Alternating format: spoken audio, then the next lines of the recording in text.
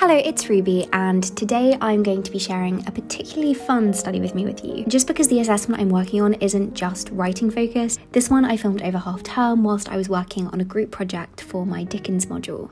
I love the premise of this project and think more modules should use assessments like this because it's just such an interactive way of learning and really brings the content into contemporary discourse. So I'm working on a presentation deck here and I'll just explain the project a little bit whilst I'm doing this. So we were tasked with creating a Charles Dickens outreach project, making Dickens more accessible for the wider public and showing why he remains relevant today. We could choose absolutely anything and we we're encouraged to be creative, which is amazing and uh, my group ended up designing a Dickens themed escape room. We did a load of market research looking at how escape rooms can aid education, and there's actually a load of really interesting writing on this. Like, it wasn't something I was aware of before. There's this guy called Scott Nicholson in the States who's kind of the leading expert on escape rooms and has written on how they can be used in the classroom to make learning much more interactive and immersive. And actually, after having done this project, I am a massive proponent of that. I mean, I think like education has to be fun, it has to be exciting. And especially with young kids, we want to make it as fun and engaging as possible. So we did all of that research and then we basically designed a fully functioning escape room, which was so much fun to do. We put together all of the clues and made sure each of them was actually teaching something about Charles Dickens and Victorian London.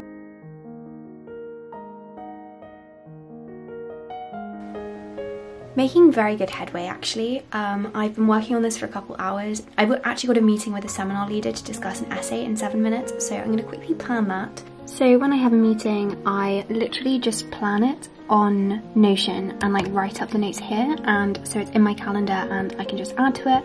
I didn't add anything for this meeting though, which is quite unusual for me. As I say, I just made some quick notes of questions I wanted to ask and things I wanted to bring up. And then I actually had that meeting. It was on Teams and um, it was honestly so helpful. I really, really recommend making the most of your seminar tutors if you're preparing for essays. And I walked away with some really, really good feedback points. So I'm really glad that I did that.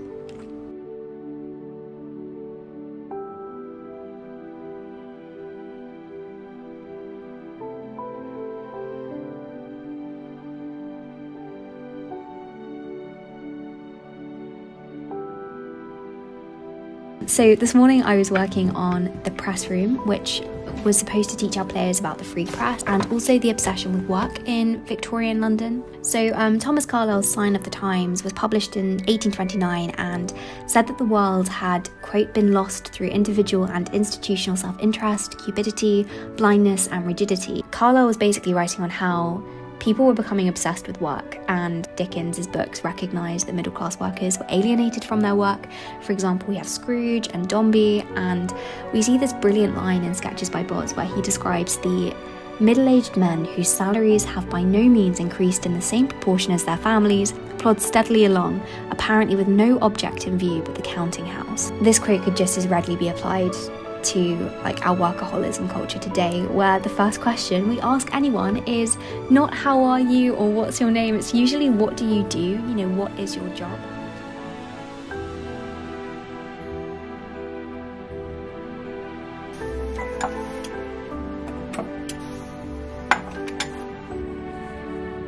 I went out on a walk after that and I loved looking at all of the pumpkins. It felt so autumnal. I literally love October so much.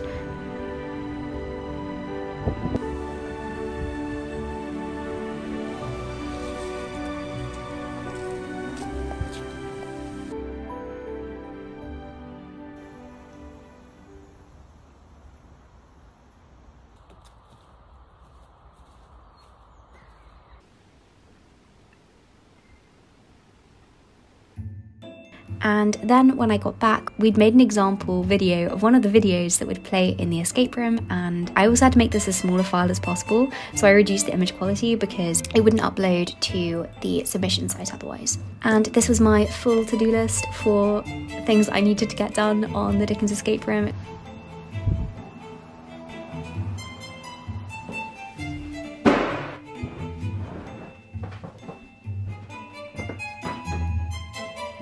Everyone in my group had filmed a intro video just running through our goals for the project and why we decided to do an escape room. I just edited this using some images and um, textual examples to um, make it more engaging. Videos is such a good idea when doing presentations because it just it just is an engaging format and you can get so much information in a really short space of time as well, which I really like.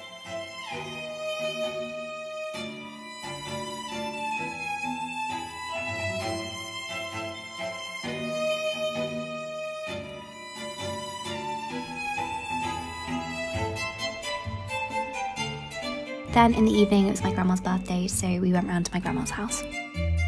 So then here we are on the next day. So the first thing I did in the morning was create this slide explaining print cultures in the Victorian period and how newspapers were printed, which is really cool. So um, they used letterpresses if you're interested.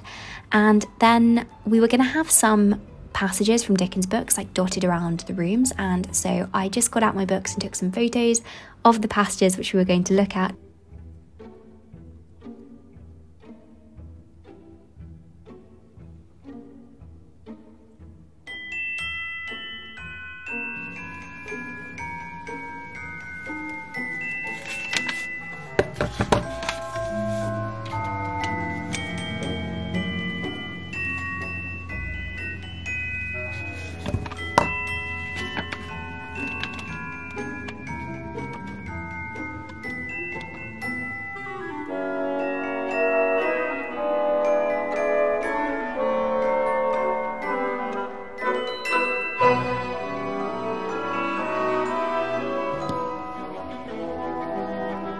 So I just used my Apple Pencil to circle specific bits as you can see.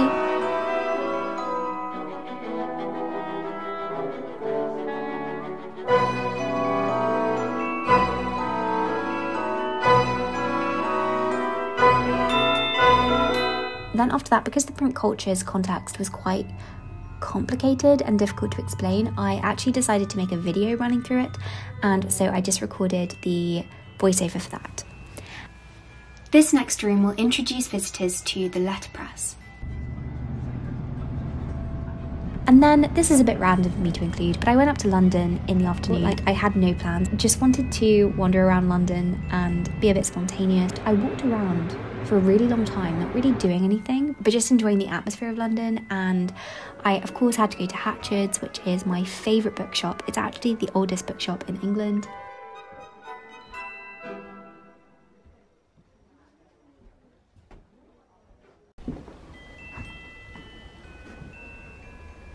I also went and got some tea and did some writing, which was lovely.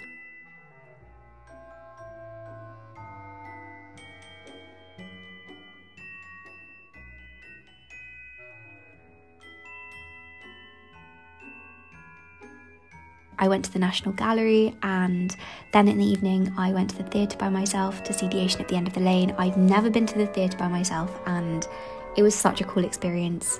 All in all, it was a really nice day, and I just wanted to share it with you. Then here we are on the next morning. I just started off with some porridge. Porridge is my favourite breakfast. I just think porridge is such a great start to the day. It really keeps you full, and it's delicious as well. This morning I made a pumpkin porridge. Then I did some more work on the project. I was doing some research into Victorian doorbells here, and here is a Victorian doorbell if you're interested. I also just printed out these pictures um, because I was creating a social media page for the Dickens Escape Room just as an example of our marketing strategy, and I wanted to use some of these pictures for the photographs and content for the social media page.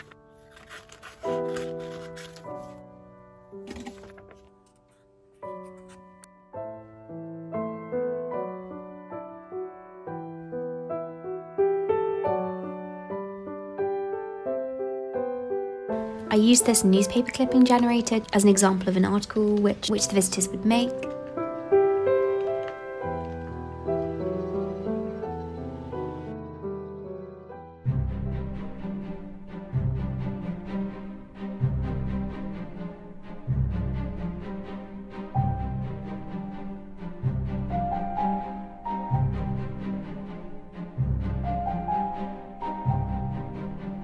And then I was just recording these bits on my iPad, like screen recording, the explanatory video for the printing press that I told you about before. As I was saying things on the voiceover, I was just writing them on the iPad screen, um, just because it seemed like the most engaging way and the easiest way to relay this information.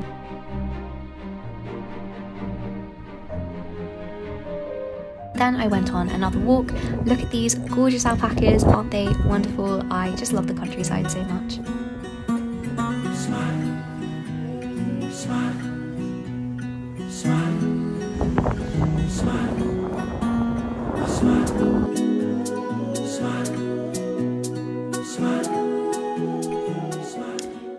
Creating a logo at the moment.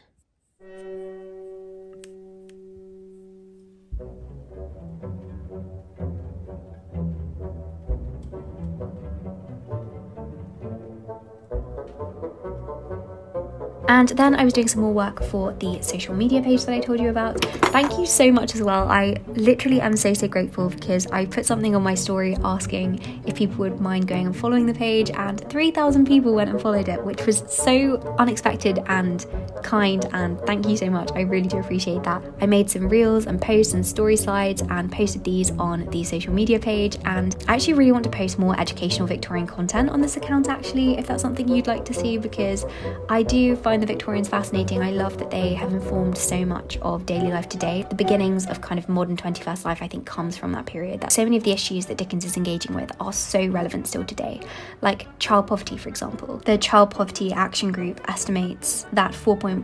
3 million children in the UK are still living in poverty, which is shocking. And we see Dickens coming up in like political cartoons still. Um, he like he is very very relevant. He's such a major part of the public con- consciousness, uh, and I would really recommend you reading Dickens if you've never read him before.